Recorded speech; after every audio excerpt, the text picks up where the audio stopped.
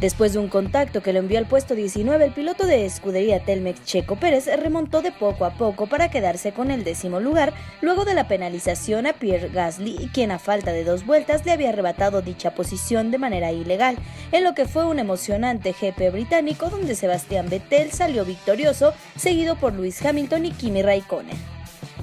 De manera desafortunada, Daniel Suárez tuvo que abandonar la justa luego de verse involucrado en el aparatoso Big One que involucró a 25 autos en la fecha que la NASCAR Cup enfrentó en Daytona.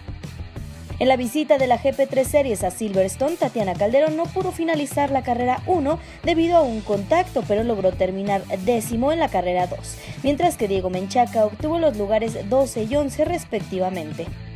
La NASCAR México llegó a Puebla y vio como Mijidor Becker se llevó la victoria en la categoría Challenge, mientras que en la carrera principal José Luis Ramírez finalizó en la posición 12, Rogelio López 16, Abraham Calderón 22 y Fabián Belter 23.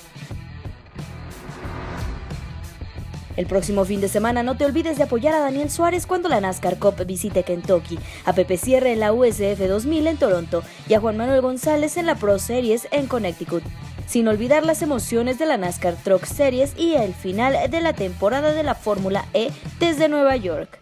Sigue las transmisiones de Fox Sports 3 a través de nuestro sitio o en tu dispositivo favorito, o sigue nuestro live tweeting.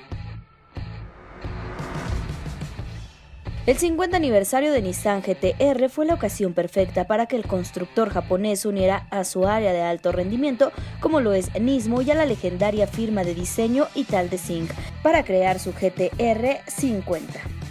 En su impresionante rediseño exterior, lo primero que llama la atención son los módulos en tono dorado y la fibra de carbono, todo ello coronado por su alerón trasero con ajuste eléctrico y sus rines de 21 pulgadas. En cuanto a la mecánica, el tradicional motor biturbo V6 de 3.8 litros, que originalmente ofrece 600 caballos de potencia, es reacondicionado para elevarse a unos brutales 720 caballos. Esto gracias a dos nuevos turbocompresores heredados del GT3 de competición, además de nuevos elementos como pistones, cigüeñal, árbol de levas e inyectores.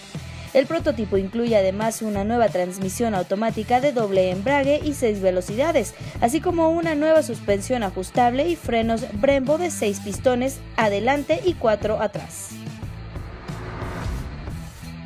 ¿Sabías que los autos eléctricos que se utilizan en la Fórmula E consumen 80% más de cobre y litio que un vehículo de combustión?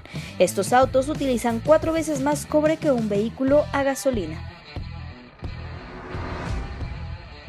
El 8 de julio de 2012, Pancho Name obtuvo la victoria en el Rally 24 horas y el 9 de julio de 2016 se quedó con la de cuadros en el Rally Sierras del Sur, ambas competencias pertenecientes al Campeonato Nacional de Rallys.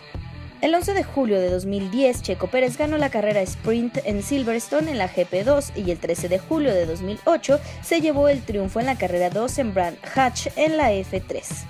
También un 13 de julio pero de 2013, Daniel Suárez ganó la Columbus 150 en la NASCAR East, mientras que Memo Rojas hacía lo propio en la misma fecha pero de 2003 en el Gran Premio de Toronto en la Barber Pro Series.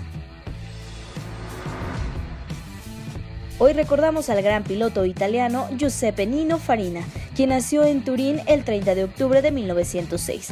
Compitió en la Fórmula 1 desde su primer campeonato oficial en 1950 hasta 1955 para los equipos Alfa Romeo y Ferrari.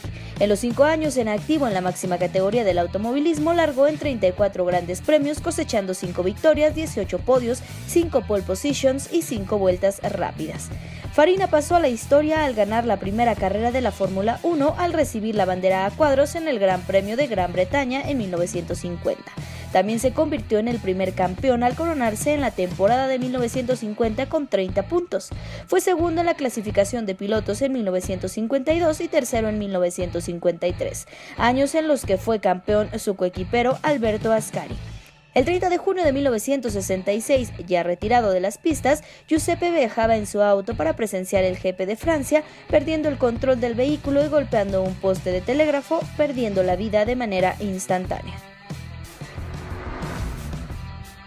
No olvides visitar nuestra galería con la mejor cobertura del GP de Gran Bretaña y de NASCAR México en Puebla.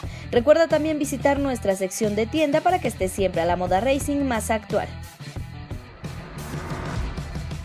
Nuestros amigos de Pilotos por la Seguridad Vial nos recuerdan que las condiciones climáticas adversas aumentan el riesgo de participar en un siniestro vial.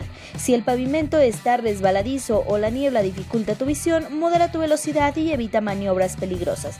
Cuida tu vida y la de los demás. Conoce más en www.escuderiatelmex.com y en pilotosporlaseguridadvial.com.